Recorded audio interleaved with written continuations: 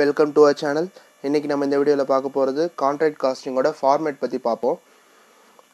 Contract காஸ்டிங்கோட basic format என்ன அப்படின்னு பார்த்தீங்கன்னா to material issued from stores இந்த சைடு வந்து ஃபுல்லாக இஷ்யூட் பண்ணுறது நம்ம கிட்டேருந்து போகிறது எல்லாமே இந்த சைடில் வரும்.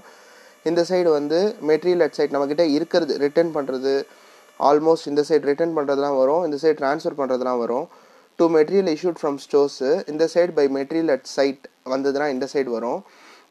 By material return to stores இப்போ எதனா ஒரு மெட்டீரியல் வந்து டேமேஜ் ஆகிடுச்சு அப்படின்னா அதை வந்து ரிட்டர்ன் பண்ணுறதுக்காக வந்து இந்த சைடு போடுவோம். அது வந்து மெட்டீரியல் ரிட்டர்ன் டு ஸ்டோர்ஸு திரும்ப இந்த சைடு வந்து material transfer from other contract இப்போ இதுக்கு முன்னாடி எதனா ஒரு கான்ட்ராக்ட் பண்ணியிருந்தாங்கன்னா அந்த கான்ட்ராக்டில் எதனா பேலன்ஸ் லைக் மெட்டீரியல் எதனா இருந்ததுன்னா மிஷினரி மெட்டீரியல் எதனா இருந்ததுன்னா அதை வந்து ட்ரான்ஸ்ஃபர் பண்ணிட்டா அது வந்து to material transfer from other கான்ட்ராக்டில் வந்துடும் அப்புறம் வந்து to by material transfer to other contract இந்த ஒரு கான்ட்ராக்ட்லேருந்து வேறு ஒரு கான்ட்ராக்ட்டுக்கு வந்து நம்ம மிஷினரி இல்லைனா பிளான்ட் எதனா வந்து ட்ரான்ஸ்ஃபர் பண்ணால் இந்த சைடில் வந்துடும் இந்த சைடு வர்றது இந்த சைடு போகிறது நம்ம கிட்டேருந்து இருந்து போகிறது அப்புறம் வந்து to wages wages to architect fee to general expenses to establishment expenses to sub contract charges sub கான்ட்ராக்ட்னா இந்த கான்ட்ராக்டை இன்னொருத்தர் எடுத்து நடத்துறது சப் கான்ட்ராக்ட் சார்ஜஸ் அடுத்து வந்து டு பிளான்ட் டு பிளான்ட்னா அக்கௌண்டிங் பொறுத்த வரைக்கும் டு பிளான்ட் அப்படின்னா அது வந்து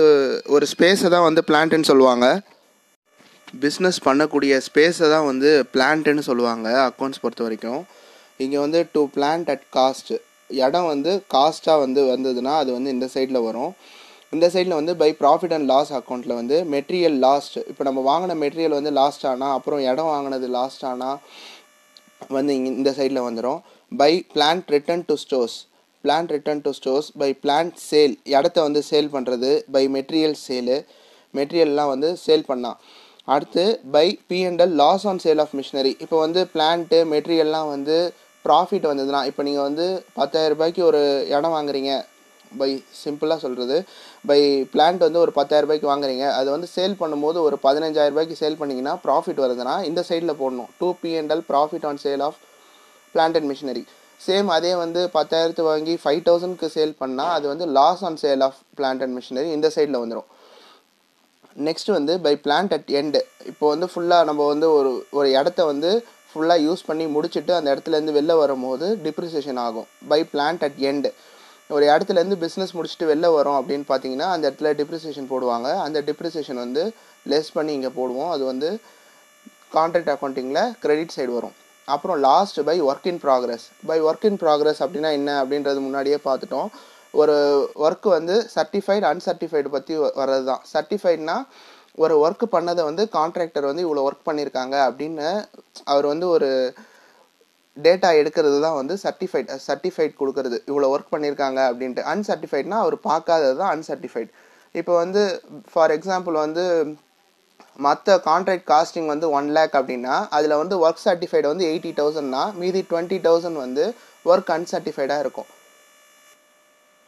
பேலன்ஸ் பண்ணி வர அமௌண்ட் வந்து டூ நோஷனல் ப்ராஃபிட் போடணும். அதுதான் வந்து பேலன்ஸ் அமௌண்ட்டு இங்கே கேரி டவுன் திரும்ப வந்து அதை ப்ராட் டவுன் ஆக்கிடணும். திரும்ப வந்து இந்த சைடில் டெபிட் சைடில் ப்ராட் டவுன் பண்ண அப்புறம் இந்த சைடில் வந்து to PNL account to work in progress ரிசர்வில் வருது. இது எப்படி அப்படின்றது பார்த்தீங்கன்னா ஒரு சின்ன ஃபார்மேட் இருக்குது இதுக்கு. என்னென்னு பார்த்தீங்கன்னா condition for transfer of profit and loss account இதுக்கு ஒரு கண்டிஷன் இருக்குது இதுலேயே சம்லியே கொடுத்துருவாங்க. Twenty five percentage twenty five percentage அப்புறம் வந்து twenty five to fifty percentage அப்புறம் வந்து fifty percentage and more than contract price இந்த மாதிரி மூணு இருக்கும். டுவெண்ட்டி ஃபைவ் பர்சன்டேஜ்க்குள்ளே கொடுத்துருந்தாங்கன்னா அங்கே வந்து நம்ம வந்து இந்த மாதிரி ப்ராட் டவுன் பண்ணவே தேவையில்ல. இந்த மாதிரி ப்ராட் டவுன் பண்ணவே தேவையில்லை. டேரெக்டாக வந்து நோஷன் ப்ராஃபிட்டோட ஸ்டாப் பண்ணிடலாம். இவங்க போட்டிருக்காங்க பாருங்கள் no profit when work certified is less than twenty five percent of a contract price no profit should be transfer to PNL entire notional profit kept reserve next வந்து when work certified is more than twenty five percentage less than fifty percentage of contract price வந்து one third of a notional profit to be transfer to PNL account twenty five பர்சன்ட்லேருந்து fifty percentage இருந்ததுன்னா one by three one by three of notional profit இப்போ notional profit suppose வந்து நம்மளுக்கு கிடைச்சது வந்து fifty தௌசண்டாக இருந்ததுன்னா இப்போ fifty thousand one by three into fifty thousand into cash received சம்லேயே கொடுத்துருப்பாங்க. கேஷ் ரிசீவ்டு எவ்வளோன்னு டிவைடட் பை ஒர்க் சர்டிஃபைடு எவ்வளோன்னு கொடுத்துருப்பாங்க. அது போடணும். போட்டு கேல்குலேட் பண்ணி வர ஆன்சரை வந்து பிஎன்எல் அக்கௌண்ட்டில் இங்கே போடணும். இதுதான் வந்து ரிசர்வ் மிச்சம் பேலன்ஸ் ஆகிற ரிசர்வ் ஆகும். இதுக்கும் இப்போ வந்து நோஷனல் ப்ராஃபிட்டையும் நம்ம போட்ட அமௌண்ட்டையும் பேலன்ஸ் பண்ணி வர அமௌண்ட்டு தான் வந்து டூ ஒர்க் இன் ப்ராக்ரஸோட ரிசர்வ் இப்போ நெக்ஸ்ட் தேர்ட் ஒன் என்னன்னு பார்த்தீங்கன்னா to when work certified is more than fifty percentage வந்ததுன்னா two by third of a notional profit transfer to PNL account two by three இப்போ notional profit same அதே fifty தௌசண்ட்னா two by three notional profit fifty thousand into cash சம்பளம் கொடுத்துருப்பாங்க work சர்டிஃபைடும் சம்பளம் கொடுத்துருப்பாங்க. Uncertified கொடுத்தாங்கன்னா certified இப்போ suppose work certified வந்து ஒரு லட்ச ரூபான்னா ஒரு லட்ச ரூபா வந்து கான்ட்ராக்ட் ப்ரைஸில் வந்து ஒர்க் சர்டிஃபைடு வந்து எயிட்டி தௌசண்ட்னா அப்போ டுவெண்ட்டி தௌசண்ட் வந்து அன்சர்டிஃபைடாக இருக்கும். இப்படி தான் வந்து நம்ம ஒர்க் சர்டிஃபைடு அன்சர்டிஃபைடு வந்து கேல்குலேட் பண்ணுறது சேம் அதே மாதிரி இதுக்கு வர ஆன்சரை சேம் அதே மாதிரி பிஎன்எல் அக்கௌண்ட்னு போட்டு இங்கே ட்ரான்ஸ்ஃபர் பண்ணிவிட்டு வர பேலன்ஸ் தான் வந்து ஒர்க் இன் ப்ராக்ரஸோட ரிசர்வாக வச்சுப்போம். அவ்வளோதான் இதோட ஃபார்மேட் முடியுது.